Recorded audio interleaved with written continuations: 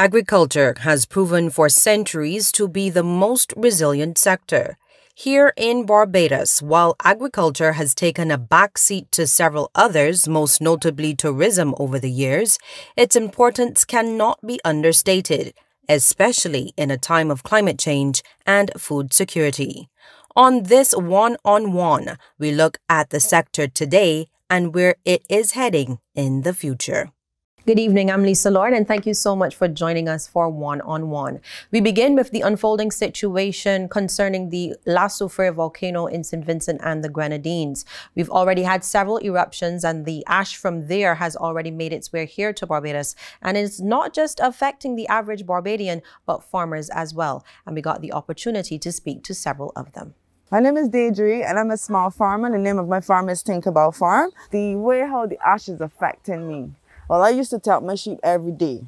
So what I'm doing now is that I'm trying to just monitor my hair that I have and hopefully the hay, the ash will stop because I need to tie back up my sheep because I can't afford buying hay for my sheep and feed. It is going to be very costly for my small business. And I'm just praying that this soon ends.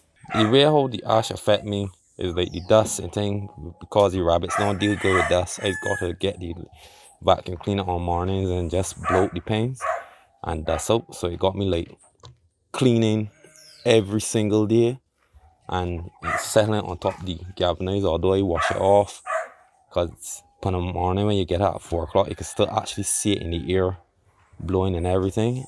I can't really cover the rabbit pens because if I cover them, the heat might kill the rabbits too, right? Because they need air too.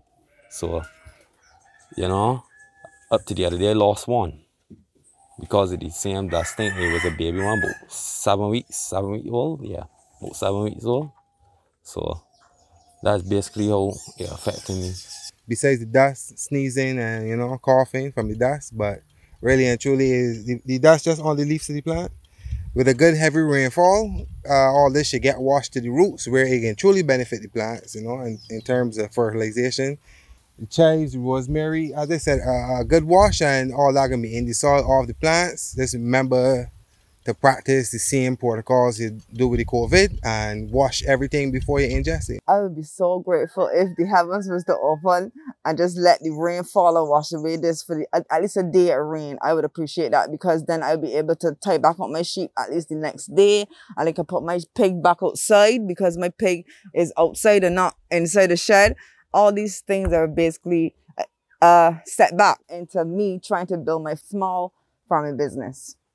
Now, to get a better understanding about what this ash means for the sector, we are joined by the Chief Agricultural Officer, Ms. Keely Holder. Ms. Holder, thank you so much for joining us via Zoom. Now, you've already gone on record as saying that this is some short-term pain for much longer gain. What do you actually mean by that?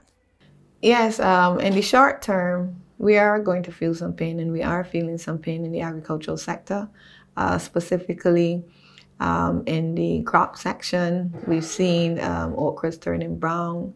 Uh, leafy vegetables have um, been, we've had damage on those. Um, seedlings or young plants um, may have been burned by the ash. Um, and so as a result of that, we are getting some short-term pain. Certainly also in the livestock sector, we've been very concerned as it relates to the animals and their health. Uh, the ash can get into their eyes and into their um, mucous membranes on their faces. And so we've been encouraging the farmers to uh, wash the faces of the animals and to be mindful of how much ash is blowing into their pens or into their um, areas where they're they're keeping their animals. The other ash, the other aspect that is uh, also causing a problem as it relates to grazing, the ash on the hay or on the uh, pastures can cause a problem for the sheep in particular, uh, cows as well. But because sheep sheep graze uh, pretty low to the ground, they can end up eating the ash, and we have had some reports of some animals dying as a result of it the other aspect of that is now um, there is a concern about using the existing hay that we have harvested and also what's in the field to be harvested because of the ash on it and, and the impact it can have on the animals. Our senior veterinary officer, Dr. Mark Trotman, has been working closely with the farmer organizations to look at solutions in the short term as it relates to hay. We have been working closely with the farmer organizations as well as it relates to uh, identifying sources of hay for the animals. And together with the Barbados Agricultural Society, we have been uh, creating a list where farmers can call or contact the Barbados Agricultural Society to get information on where are the sources of hay, which um, suppliers still have hay available. Additionally, we have been looking at sourcing hay or forage from overseas in an effort to try and get um, have a, a, an additional supply and ensure that if we are running short for whatever reason, there's more than enough hay available and so the animals would not suffer. So these have been the main issues that we're seeing um, as it relates to the ash fall. However, in the long term, as the ash moves into the soil, is washed into the soil by rainfall or by irrigation, then the, our soils, we're going to benefit from that. Barbadian soils are on a, we, we here, we have a coral limestone rock and our soils are based on that. Well, coral limestone is really calcium carbonate. And this is what we call alkaline. You hear a lot of talk about alkaline water. Well, Barbados naturally has alkaline water.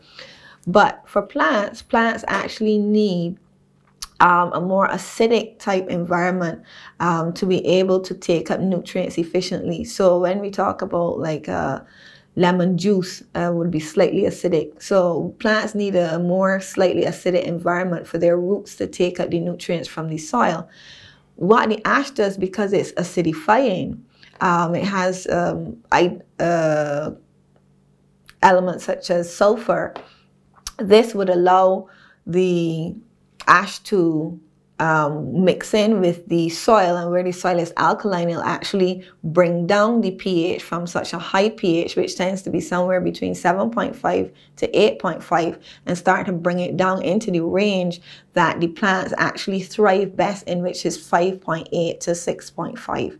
So while it hasn't been a lot of ash in terms of what the plants actually would need to be able to to completely change the pH of the soil permanently. It will be a supplement to the soil and we would see improvements in yields and, and improvements in the quality of crops as a result of it. So in a few months to a year's time we would start to see the benefits redounding to the sector and, and, crises like this always bring the whole question of food security into the picture. And that's also a concern for you at this time. Okay, so let's talk about what food security is. So we're talking about being able to secure our food supply. That's the most basic understanding of it. And of course, we have to look at the context of Barbados. Now, we only have about a quarter of the land in Barbados is now listed as arable. So it means that we have a small amount of, um, of land area to be able to produce all of the needs of the people of Barbados. As it relates to the agricultural supply, um, our food security has to focus more on self-reliance as opposed to self-sufficiency. Not all of the agricultural products that are consumed by Barbadians we can actually grow here. So we have to focus and we, we need a, a three-stage focus for this. We want to um, approach food security, first of all, from self-reliance, growing more of the things that we can grow here given the limited land space and given our tropical environment. We also then want to uh, be able to develop our farmers and our agribusiness entrepreneurs to the stage where they can have their own firms and go overseas and grow food overseas for export back to Barbados. And so the Brokopondo agreement, for example, with Suriname would be a classic way in which we would be able to address the, the items that we can't grow here, but we can go into larger land spaces and be able to do that and provide food for the country. And the third aspect of it then would be to look at diversifying for the imports that we absolutely need to bring in, diversifying the sources which we get them from. so that if there is for, for whatever reason the drop in the marketplace um, for, for an item, we have another source that we can get the items from so that the disruption of the food supply is not significant or it can be very smooth so we avoid those disruptions. So there's really a, a three-phase approach to uh, dealing with food security there is self-reliance and, and maximizing and optimizing all that we can produce here and ensuring that the quality of what we're producing here is of the highest quality. The second aspect is going to be on expanding to grow overseas. And the third one is then going to be to diversify the imports or the sources of the imports which we need, um, which we can't supply through those two other options. Ms. Holder, are you happy with the level of technology in the agriculture sector? You know, when it comes to technology, there are a number of farmers who've been doing uh, pockets of farmers, I should say, who are doing some some really good things. But um, in terms of the entire sector, there's a lot more that needs to get done. Uh, we are now in what is called the fourth um, agricultural revolution, which is framed by digital technology. Um, every aspect of the agricultural chain we can now uh, mechanize from planting to harvest. We now are using remote sensing technology, GPS technology to map farms, to determine soil fertility, to identify pest and disease issues. And these technologies are now coming down um, in terms of price and, and accessibility so that small farmers, uh, in, in the context of Barbados, all of our farmers would be considered small on the global scale so that our farmers which are small farmers would be able to access this technology. Now what does this technology do? It allows us to be more precise. It allows us to optimize our production. It allows us to be more responsive to things like climate change climate adaptation and mitigation strategies. So these are the things that we need now to move forward because that's where the future is going to be where you're using uh, robotics you're using more mechanized equipment you're using big data analytics we're using um, all aspects of um, remote sensing. These are this is a new world of agriculture. There's blockchain as well, where we can map everything from the farm right to the fork, and so all of these things are making the agricultural sector um, more robust in terms of being able to respond to climate change, but also being able to respond to the needs of the consumer. We're even going further than that in terms of the scientific analytics um, for particular products, looking at nutritional quality, even within varieties, being able to make recommendations between what is happening, uh, what, what particular crop is would have, or even a particular variety could have what nutritional benefits according to the health and wellness needs of particular persons. So there's a huge amount of work being done in terms of science and technology and being able to produce high levels of, of food, high quality food at reduced prices with more efficiency um, and also with more consistency and reliability. This is where we need to take the sector. Um, we are not there right now, but I think with the right set of um, policies and the right set of applications, we can start to move the sector rapidly to that place. Ms. Holder, we really appreciate your time today. Thanks so much for joining us. And we're joined now by the Minister of Agriculture and Food Security, the Honourable Indar Weir. Thank you, Minister, for joining us. Pleasure to be here, Lisa. Now, if we could just follow on from Ms. Holder and talk briefly on the ash situation, what is your ministry doing? Are you offering any level of assistance to farmers who might have lost some significant crops? Yeah, definitely. Um, we are doing a complete assessment of the situation. Uh, so I held uh, stakeholders meetings uh, on Saturday and Tuesday to get a feel for what is happening with the farmers. Uh, we have uh, the Barbados Agricultural Society, the BADMC, uh, and between the two of them, they cover most of the farmers across Barbados. And then all the independent ones who may not be members of an association or may not be covered by the BADMC, we send our extension officers to visit. So we would do a complete assessment of what has actually happened since the ash fall. And then we will be able to put programs in place to assist the farmers based on what the needs are. So that needs assessment is entirely important in order for us to be able to go forward um, and suggest any um, recommendations to the Cabinet of Barbados so that they can get some assistance if need be. What I do know is from the consultations that I had um, livestock farming uh, will be the one that will be particularly challenged since um, you're dealing with ashfall and the toxicity that can impact the animal's digestive system and indeed can lead to mortality. So we are looking at how we can put measures in place to provide any assistance in the very, very short term. Uh, we have to do a total assessment of all of the hay that is available in Barbados. We're working on that right now with the uh, farmers and the associations. And then we are going to make uh, a provision for, given the fact that we're in the sugar harvest, all of the cane tops as well that are available to make sure we can provide enough fodder for the livestock industry. Uh, that being the case, this will cover the dairy industry, small ruminants, and um, of course, we are trying to work an arrangement with the Turf Club as well for the horses. Uh, that being done, then we've asked all of the other um, livestock farmers, those in the pig industry, for example, or the poultry industry, to make sure they keep the feed covered, water covered, and that those animals are properly covered so that the ash does not impact them. And um, this afternoon, um, well, we will go back then and make sure we cover all of the areas that we flag and then um, come up with a solution. So it is not just as simple as say, um, do something. We have to do a complete needs assessment and then we will go forward. And we are doing this in the very short term. You, met, you mentioned the sugar harvest. We are in the middle of the sugar crop.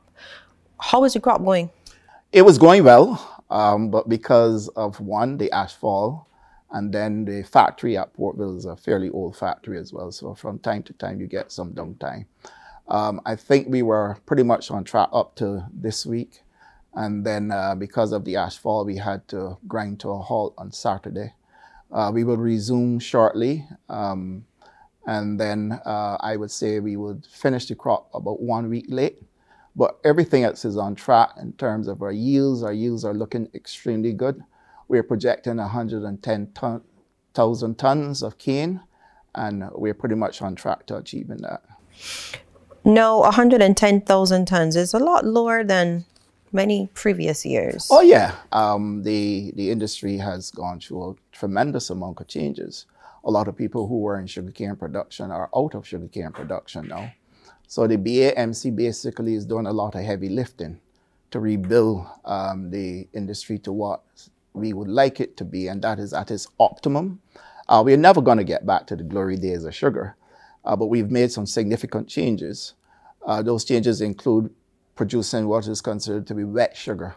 So we're looking at more molasses production so that we can help our rum industry, especially when they go towards a GI um, a lot of the inputs that would go into the rum industry should be Barbadian, and therefore we are making sure we provide enough molasses to help supplement what they import, and that they would have that Barbadian molasses as part of the inputs that are going to the, uh, the rum industry. And then we've changed our strategy as it relates to our crystal sugar. Um, previously, we exported that in bulk. Um, and many times you will see it come back to us as refined sugar at a lot higher price than what we would have exported it at. What we are doing now is we are allowing for domestic consumption. So a lot of the distributors in Barbados are now able to purchase our sugar. Previously, they weren't able to do so. And they can now supply the domestic market. And then we've also worked an arrangement to have export into the US. So um, we've form a two-prong attack in terms of how we would deal with the marketing of our sugar, the crystal sugar, and that is working well also. Uh, we have increased our earnings um, more than double in some instances from um, domestic consumption and direct sale of sugar uh, than we were doing when we were exporting in bulk. And what's been your feedback? Uh, extremely positive. Um, it's good to know that we can now have Barbados' sugar being retailed in our supermarkets and being retailed through the distribution system in Barbados.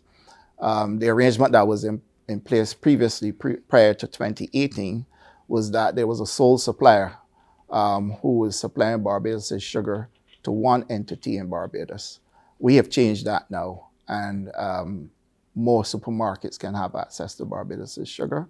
and the distributors in Barbados now are able to purchase directly from Portvale so that we are now even in the playing field and making sure that everybody's on a level playing field.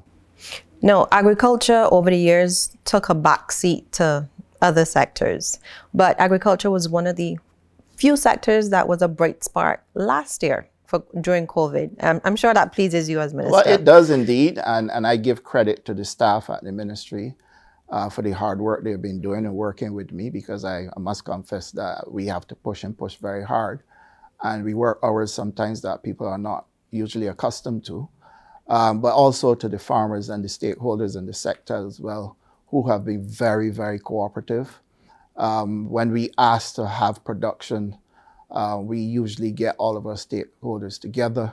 Uh, we discuss how we're going to approach it. We look at what assistance will be needed and they all cooperate very well. And so we were fortunate to be able to see a 1.9% growth in the sector when all other sectors were down. And this is attributed directly to strategic planning uh, during the COVID uh, period.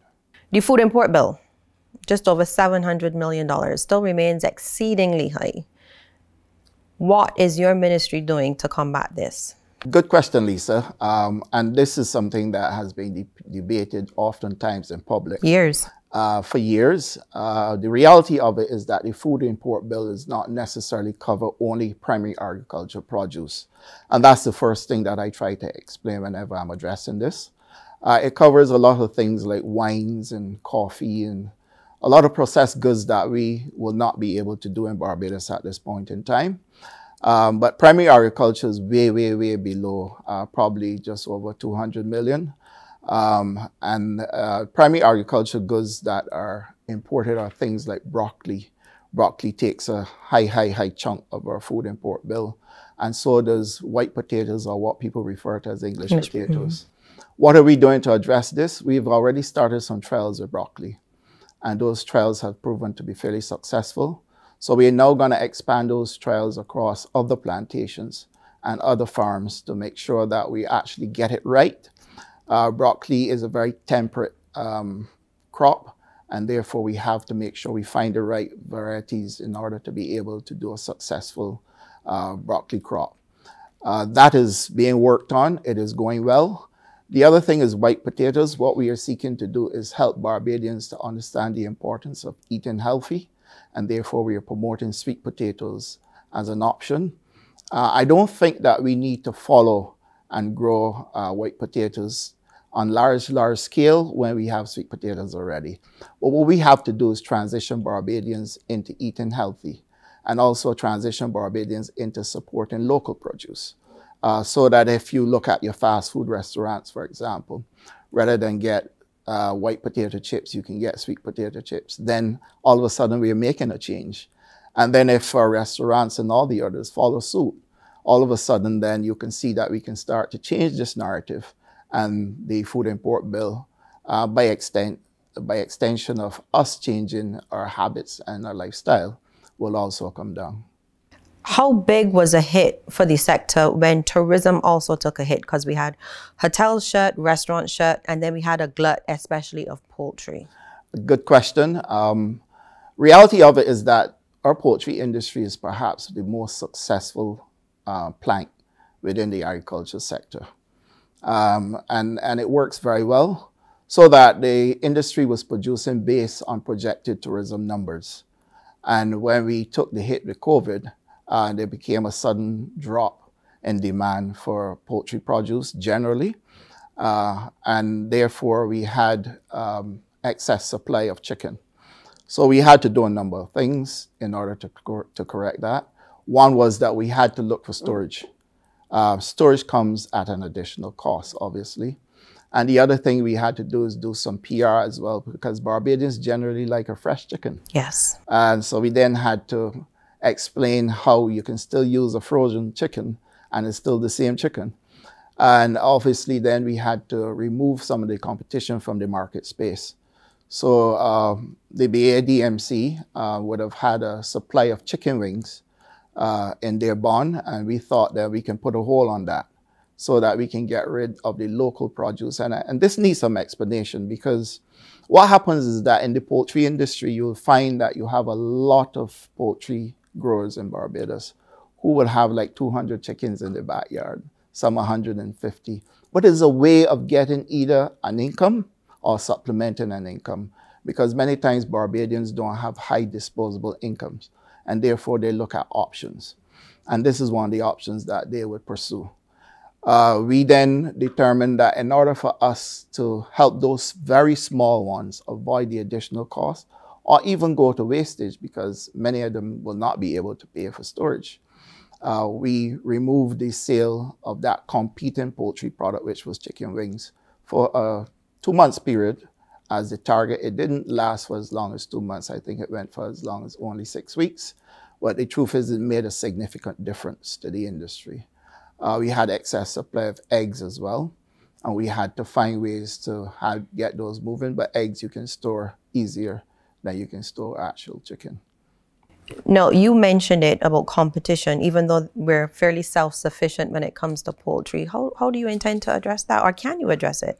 Yeah, again, um, it takes will on the part of the people of Barbados.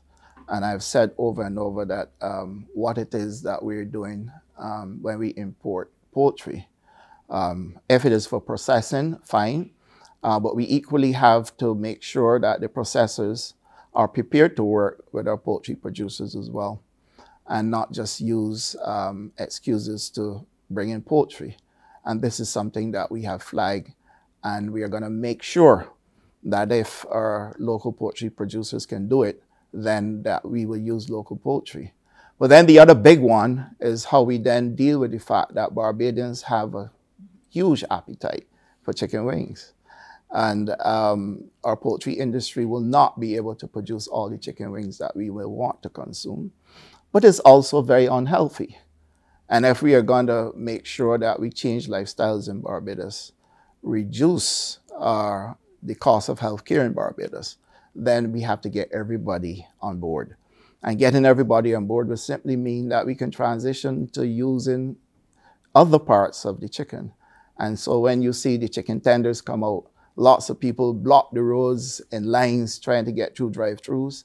So this is an option.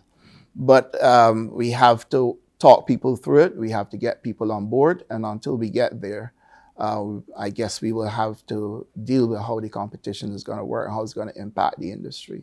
Once tourism comes back, and then with the opportunity for home porting, I am confident that the poultry industry will continue to do well. Let's look at the issue of pork production. How's pork faring? Yes, uh, pork production in Barbados is faring well. Um, last year, uh, they had a slight growth. Uh, nothing to really write home about, but a growth is a growth anyway. Uh, and uh, the pork producers in Barbados are comfortable at this point in time. Uh, when we have our stakeholders meetings, I make sure that they flag for me what the challenges are. Uh, we have had a huge challenge with cuts of pork that uh, you don't normally get here in Barbados. And then that is combined with people who have a propensity for eating a lot of ribs. So uh, you'll find that those people who have special permission either to import because they're manufacturers or to import specialty cuts, then you get a whole lot of other parts of um, pork coming in as well. It's going to take a lot of managing. Um, we have been working with the Ministry of Commerce, and we, uh, we will continue to work with them to make sure that we look at what is coming in. I've had a meeting with the customs, uh, the, the Comptroller of customs as well. And we're going to look at how we can deal with those products that are coming in that will not necessarily need to be here uh, once we take full control of the situation. A few years ago, Barbados imported dozens of bulls and heifers to help stimulate the dairy industry. Has that paid off? Yes, um, it did, uh, because if we didn't do that, then our milk production will be substantially less. Um, the dairy industry is having its challenges. Uh, one of is water. Um, you know that a large portion of milk production involves high volumes of water. If the animals don't get access to high volumes of potable water, then of course milk production will be down. Um, but equally then we have a problem with how we can expand the industry so that um, dairy farmers can have um, an opportunity to lower their operating costs um, and then provide them with the enough fodder that they would need. So there are a fair amount of dynamics within the industry. Equally, we have to increase um, the, the number of animals we have in Barbados in order for us to maintain a sustainable industry. And that's the reason why we went to importing the heifers. Now, you mentioned water being a challenge for some in the dairy industry as well. It's also an issue for those um, with crops. What is your ministry doing to help address that? Uh, good one. Um, the, the dairy farmers, uh, we have started to work with them. We have to look at a number of things mm -hmm. in order to be able to address that because they must use potable water. And that then becomes a question of how we work with the Barbados Water Authority and how we then look at the additional cost that has been added, uh, which is the GST uh, to the water bills. That is being worked on. Um, Ambassador Dr. Clyde Mascoll is working with us and coming up with a solution for that. Um, I can't disclose it at this point in time, but I will say to you that there's a possible solution in place. And then for the crop farmers, uh, we are looking at a water augmentation program. We're starting off at River in St. Philip, where we are going to have 6 million gallons of water in what is known as Bronx Pond. And then the Three Houses Spring, we're also going to be putting in uh, sluice gates so that we control the flow of water and make sure that the farmers downstream are getting access to water uh, right across the entire river plantation and then at the, uh, at the um, River Plantation House, there is a dam there that we're also going to expand. Then we will go to Spring Hall Land Lease Project. We're doing already a program to clean all the wells, the sub wells that Spring Hall Land Lease Project. And we will also move then to put in an expanded irrigation system and also uh, a dam at Spring Hall to make sure that we can provide consistency in supply of water for the farmers at both River and at Spring Hall. It's significant to note that River, by dint of its name, is prone to extreme flooding when we get heavy rain. So this one has been prioritized because we have to make sure that when we come to the next rainy season, we have the dams in place.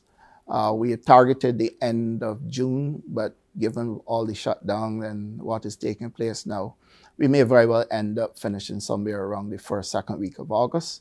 And we have that projected as our finishing date so that we can take advantage of the rainy season. Now, we always hear about arable lands being taken out of agriculture for residential or commercial purposes, but we have hundreds of acres of CLICO lands lying idle. What's happening with, with that? Uh, we've started a process and we are working with the team at ResLife uh, to make sure that we come up with what is considered a suitable fit for uh, CLICO lands. Uh, we can't get away from the fact that CLICO lands basically are managed by Res Life. They don't fall under the Ministry of Agriculture.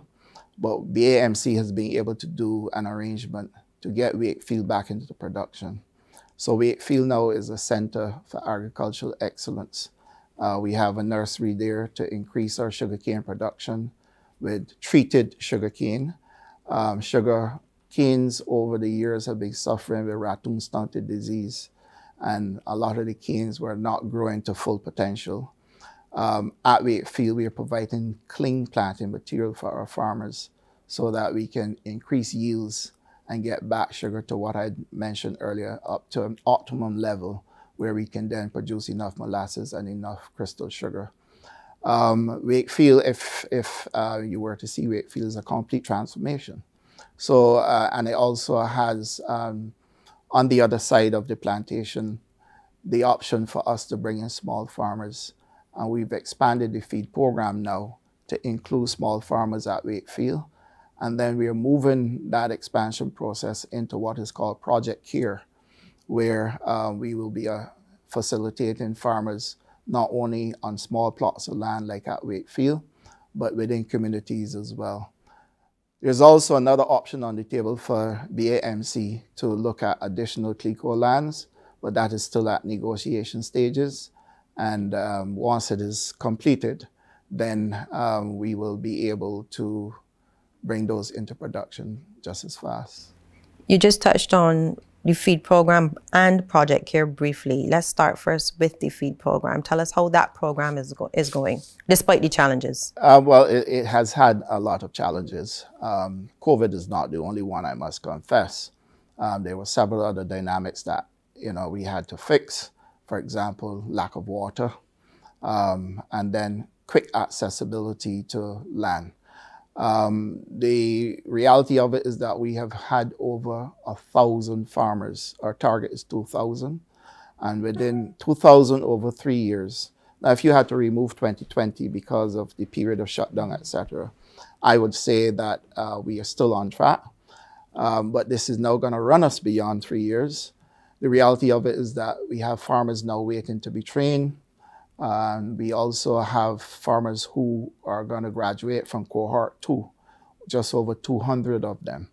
And we are providing them with all the inputs that is, access to land, water, um, all of the seedlings, PPE, um, and fertilizers, and then extension services because they still have to continue to get the technical support as well.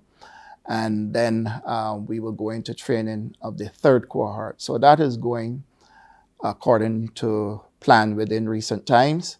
And I'm hoping that we can then move the Farmers Empowerment and Enfranchisement Drive feed program to another level where under Project Care, we're going to provide 129 acres of land through the BAMC at Constant and uh, um, Constant Wakefield and north of the island, Chance Hall and Chance Hall is one, and I believe Bawden's is another one. Uh, what we are going to do there is to bring in additional farmers, uh, people who are currently unemployed, um, don't have other options, but can quickly get into farming doing what we call cash crops or short-term crops, lettuce, tomatoes, um, beans, those kind of things. Um, and we're also going to give them a chance to receive the cultivation services just like we're doing under the current feed program. Cultivation services mean going the full distance in terms of preparing the land and then providing them with all the inputs so that they can get started as well and looking at how we can provide them with water, either by way of an irrigation system or through tankers.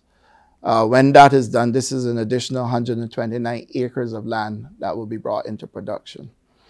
But Project Care does not stop there. Uh, the ministry has been receiving several calls from people uh, who've been asking for assistance with cultivation within their communities. So you'll find that these are people who are like guys who are on the block, not employed, looking for an opportunity, want to do some agriculture, but can't get assistance with cultivation and do not have the financial resources so to do. And what we've done is we've created this project, Project Care, which basically is a dovetail of care packages. Uh, what was happening is that the government was providing the care packages with all the agricultural produce. And when we looked at it, we said, well, this is something that we should continue, but give people the opportunity now to go back to their kitchen gardens with assistance from government. Give people the opportunity then to come off the block and get an opportunity to participate in agriculture within their communities.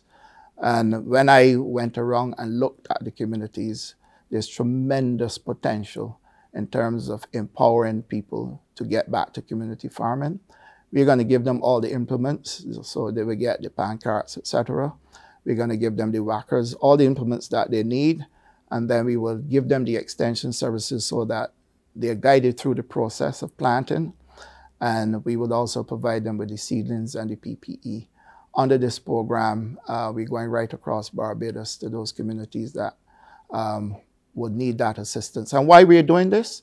One, it gives us an opportunity to also empower and enfranchise more people in Barbados, but also it gives us an opportunity to allow those people who would not have been able to get some form of income to get income. And then many of them will be people, when I check, who would not ordinarily be able to have a meal that is well balanced. And so with them growing their own produce, that we will correct. But equally then, there are several people who would otherwise be drawn to things like predial larceny, for example. And um, to, in order for us to avoid that, you give them the opportunity to grow their own produce, which they can sell. And that is the reason why we've gone with Project Care. If this is extended across all the communities of Barbados, that especially in urban Barbados, then all of a sudden you have an opportunity to then build on the feed program and at the same time give more people an opportunity for enfranchisement. And that project we are definitely going to be rolling out. Uh, we are currently working with the Rastas at Bath. Uh, they are there. We are providing assistance to them. And we're now looking at a solution for water at Bath so that we can keep them going. Bath is a total of about 80 acres of land. Um, so far, we have allocated 40 acres to two Rastafarian groups. And we're looking now at the allocation of an additional 40 so that when we are finished, the Rastafarian community of Barbados will be predominantly at Bath. And we are going to make sure that we restore the old factory chimney there and put a facility in place for vending as well so that Barbadians can go to Bath to purchase their produce, but at the same time, take advantage of these, uh, what they call natural juices and uh, ital food that will be available for sale as well. You mentioned the balanced meal. There's still concern that the cost of some vegetables, produce is way too high. And I know that we hear reports about price gouging across the sector. Uh, it's a difficult one. Um, generally, the cost of production in Barbados is high. And therefore, how do you address that? Uh, out of pure economics, when you increase the volume and you increase production, then automatically it drives prices down. Um, so if we're going to increase production, then that can address the issue of even price gouging. So let's assume that that is there. Once there's increased production, people have greater access, then competition then determines the price. Um, the greater the supply, um, obviously the price will come down. I'm glad you mentioned increasing production. What's happening with the deal with Suriname? Um, that has been ongoing. We unfortunately weren't able to move the farmers because just as we were about to do that, we had the outbreak of COVID and all travel was suspended. Uh, I held a meeting with the new Minister of Agriculture and we are prepared to get back to it. But then we had a second wave of COVID and that also slowed us down. But that's definitely on the table. We're definitely going to go after that because there are tremendous opportunities as well. We do not have the scale in Barbados like they would have in Suriname. We certainly don't have access to the water like they do. So this is definitely a goal as far as we're concerned. Let's look now at cotton.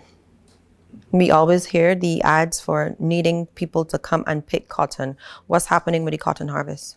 Uh, we have seen some improvement. The industry itself, um, cotton had just taken a dip. Um, a lot of things weren't working out. We had several problems with insect infestation. And then um, our acreage, uh, we didn't have enough acres in production. Uh, what we've done, we've looked at how we can arrive at optimum um, amount to produce. And that target basically is going to be somewhere around a thousand acres to start. Uh, so what we've determined is that in order for us to do this and do this successfully, uh, we are putting back 300 acres into production, watch how that goes. And then once we can tweak um, any problems that we would have had, then we would start increasing exponentially. Um, we are currently doing 300 acres. Uh, the yields are looking good. Uh, the, the crops are growing very well. Um, now we've just got this ash fall, and that is a setback because the ash fall can definitely damage the quality of the cotton. Um, but we are working on it. The, the, um, the AMC and the ministry are both collaborating in making sure we get our increased production of cotton as well. And at Wakefield, we do have a beautiful cotton field. Now, many are keeping a close eye on the rollout of the medicinal marijuana industry. I understand that we have interests as far away as Russia. How is that going? Extremely good uh, in terms of interests.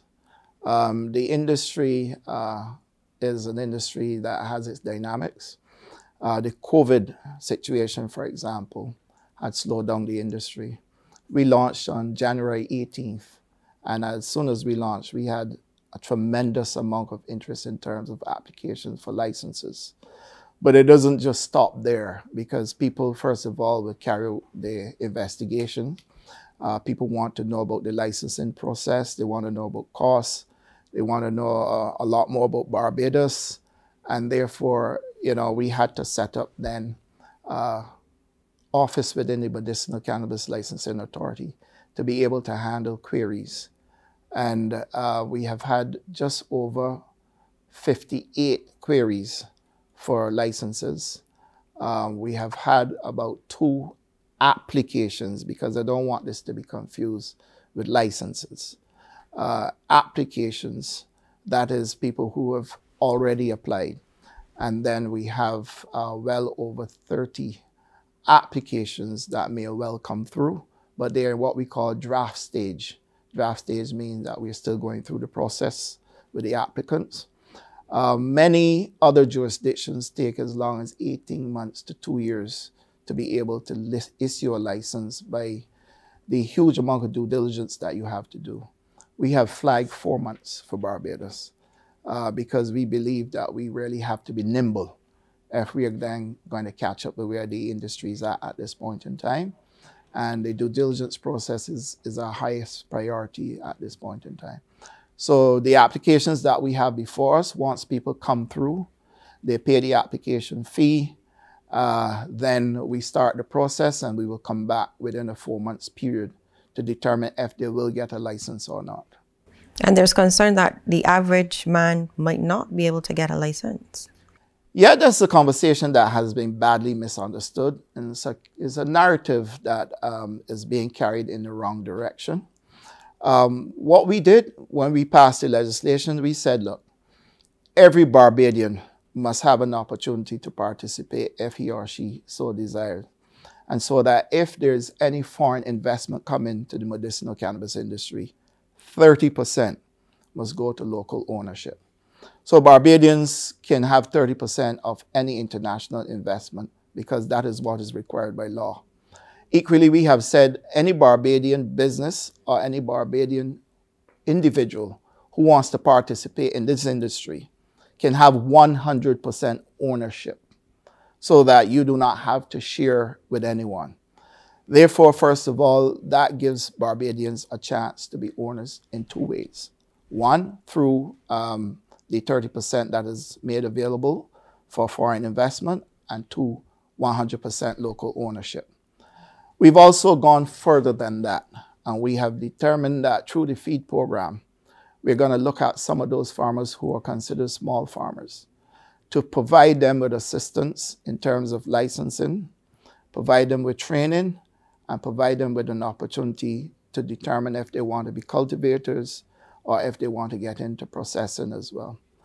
Uh, the BMCLA will work with them, and we are looking now at how we would determine the funding in order to get them there. What is it really that people are referring to? It is not really that Barbadians will not get a chance. They're referring to how would I find the financial resources to be able to do this.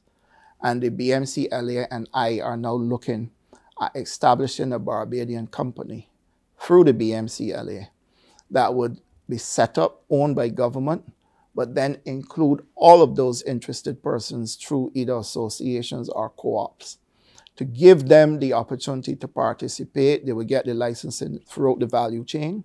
So it would be cultivator, processing, um, health and wellness spa, and they would get an opportunity now through the entire value chain and the government would transition them into ownership over a three to five years period with then them becoming the owners and the government removing itself from that space.